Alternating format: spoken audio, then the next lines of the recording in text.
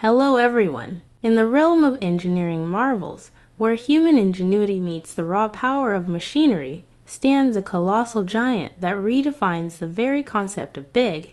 This is Bagger 293, a bucket wheel excavator of such staggering proportions that it dwarfs everything in its path, earning its place in the Guinness Book of Records as the largest terrestrial vehicle ever built. Bagger 293 is not merely a machine. It's a self-propelled, earth-devouring behemoth, a testament to the boundless ambition of human innovation. Its sheer size is difficult to comprehend, 96 meters tall, taller than the Statue of Liberty, 225 meters long, longer than two Boeing 747 airplanes placed end to end, and weighing 14,200 tons, equivalent to the weight of over 200 fully loaded heavy-duty trucks. Its most striking feature is its massive bucket wheel, a rotating monster with a diameter of 21.6 meters, capable of scooping up vast quantities of earth with each rotation. The wheel is equipped with 20 buckets, each capable of holding 15 cubic meters of material.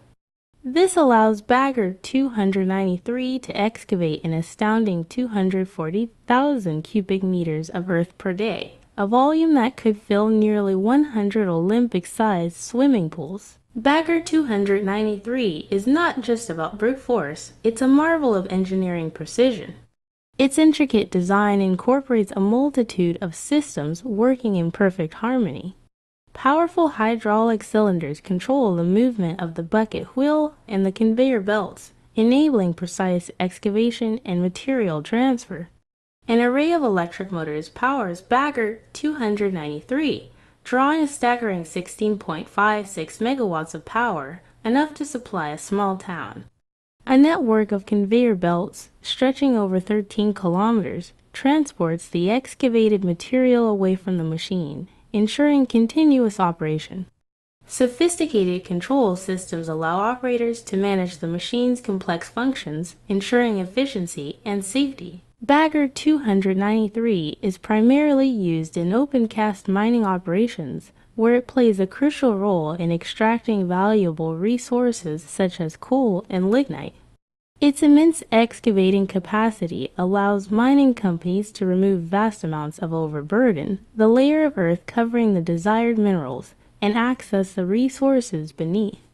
The machine operates in a continuous cycle, digging into the earth with its bucket wheel, transferring the excavated material onto the conveyor belts, and moving forward to repeat the process.